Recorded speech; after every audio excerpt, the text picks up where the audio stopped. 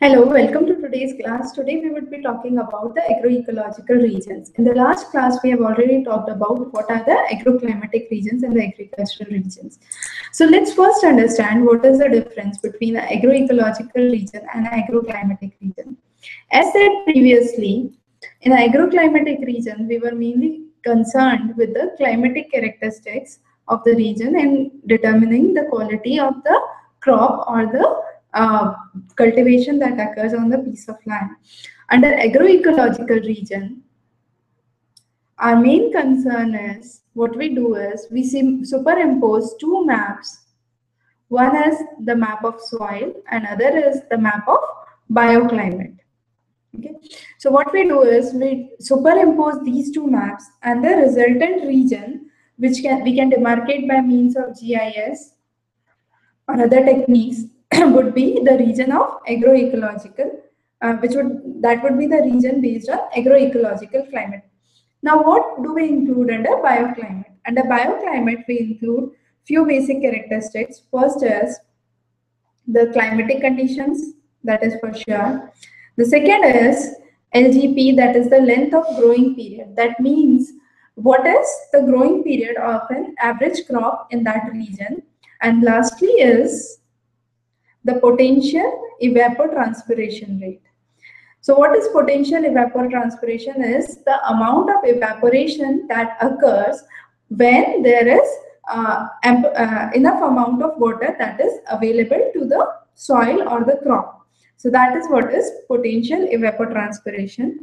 So based on three these three characteristics, we define the bioclimate and that bioclimatic map is superimposed with the soil map and the resultant map would be a kind of agroecological map or where we can say that this region is divided on these agroecological bases. So there is around 20, uh, 20 macro agroecological regions that have been demarcated and 60 sub-regions that have been demarcated based on this finding. Now let's first start the first region. So this is the first region. This is known as the Western Himalayan region. Okay. Under the Western Himalayan region, we have, it's kind of cold climate. Okay. So the climate is cold. It's mountainous terrain. The net geographical area for cultivation is very less because it's a highly mountainous region.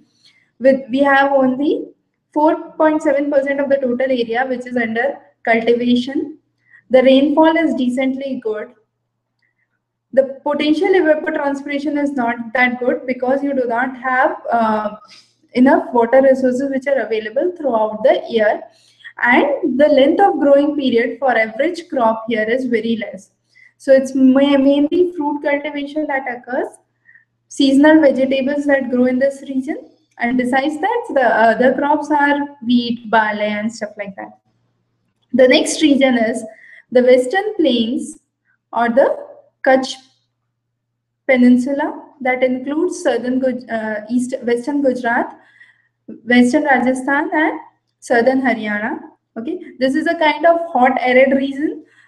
Predominated predominantly has Thar desert in this region so the soil is basically saline in nature. The evapotranspiration rate obviously is very high due to high temperature here. The length of growing period is very small in this region. So the major crops are only millets uh, and fodder for uh, poultry. The next region is the Deccan region, which is marked by three. Uh, so you have this region, which is the Deccan Plateau region. This region is again a region which is rich in black soil and red soil as we mentioned in the agroclimatic classification also. The cultivation or the crop area is not much in this region. The main crop, since it is a black soil, the main crops here are cotton, sunflower, sorghum. Uh, you have sugarcane and groundnut growing in this region. The next region or the region 4 is the northern plains and the central highlands. It has huge proportion of cropped area. Around 10% of the gross cropped area is found in this uh, uh, you have the total geographical area, you have around 10% and around 30 uh, million hectares of the gross cropped area is in this region. So this region has ample of cultivation. The major crops here are again wheat and rice, wheat, wheat and pulses, sorry. Uh, you have also sugarcane in the southern belt uh, on this side, okay. Then you have the next region, which is the Malwa Highland and the Gujarat Plains, lying in the region of southern Gujarat and western Madhya Pradesh. Uh, you also have the Kathiawar region, which is included in this. This region is basically owing uh, to a kind of semi-arid uh, soil, semi-arid climatic conditions and kind of black soil in this region. The main crops again are millets and pulses here. The evapotranspiration rate is very high. Okay, and the length of growing period is around half of the year. So half of the year you have nearly crops in this region. So the next year is the Deccan Plateau region or the region marked as 6. Okay. This region has again semi-arid uh, kind of climate. The evapotranspiration rate is high. The major crops are again, since it's a black soil, you have cotton and pulses with sugarcane in southern Maharashtra region here. The next region is the Telangana region, now a part of the Telangana state only. So you have black and red soil here. Around half of the year you have crops in this region. So all this region you have the Deccan Plateau, the Eastern Ghats, all this region have uh, crops for nearly half of the season. Okay. The major crops again are oilseeds and rice and sugarcane here. The next region is the Eastern Ghats or the region 8 that we can see on the map. So this region is basically the Tamil Nadu uplands and you have parts of Karnataka which, which are an extension of Deccan. Okay. Uh, the soil here is red and loamy. So since it is a loamy soil, uh, the gross cropped area is not much.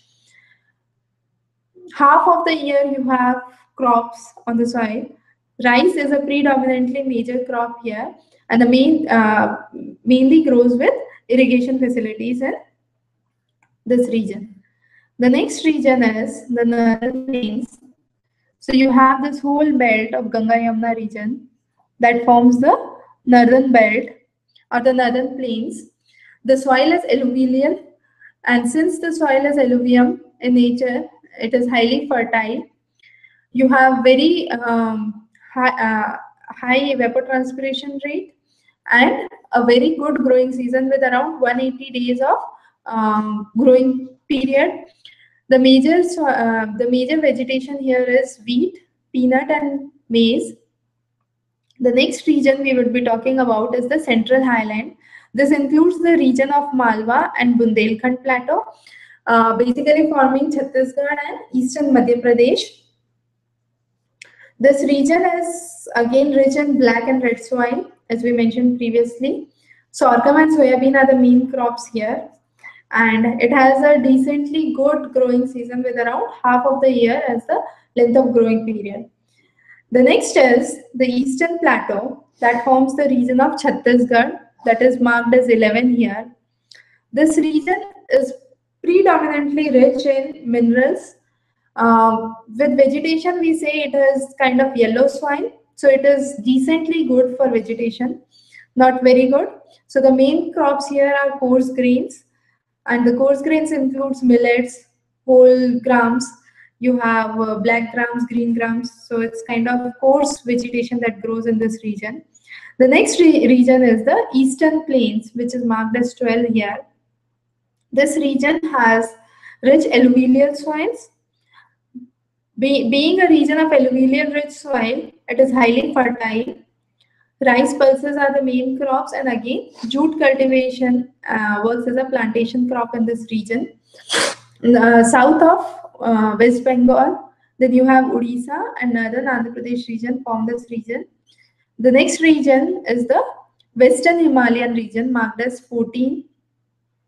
This Western Himalayan region is a kind of per-humid region with forest soils. So cultivation is not too good. The gross cropped area is very less. Uh, the predominant crops here are maize and millet. Let's move forward. You have the northeastern states, which is marked as 15.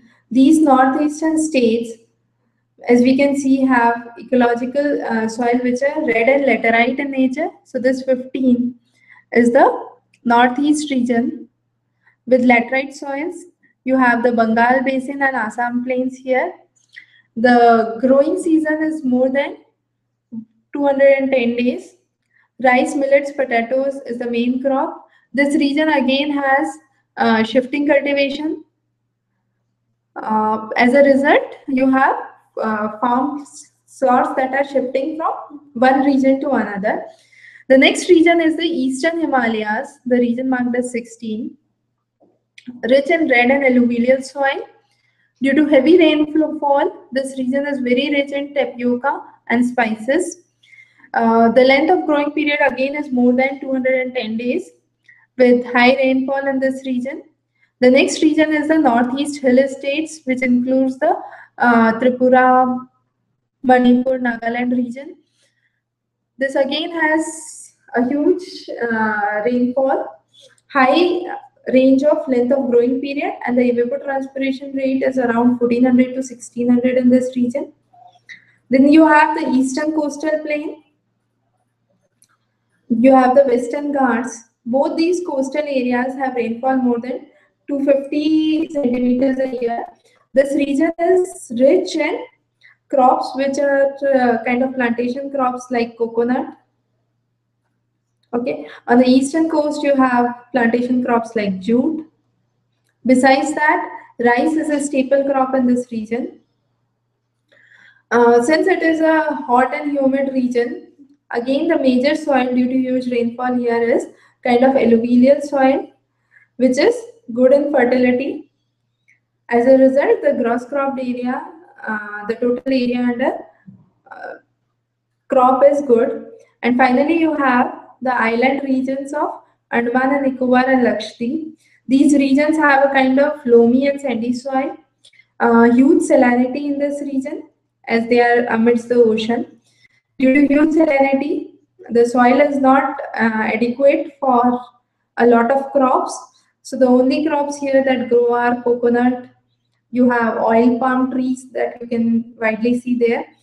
Uh, but since this is a region of high rainfall, the average length of growing period here is more, more than 210 days, which is a kind of huge range. So as we can see here, now let's try to generalize this map. As we can see, all the regions which are coastal, okay, the island region, let me just change the color so that you can see better. So you have the coastal region here, the island region and the northeast region have huge rainfall. As a result, the length of growing period is good. You have crops for nearly three-fourths of the year. Okay, the evapotranspiration rate in the central belt is much higher as compared to the remaining country and the gross cropped area under cultivation in this region is maximum. That's the 14 to 4, that's the Kutch and the Western Plateau, the Northern uh, Plains and the Malwa region, you have the highest crop cultivation here. So this is how we define the agroecological regions of India as we can see, the agroecological regions differ from the agroclimatic region where the only emphasis was climate.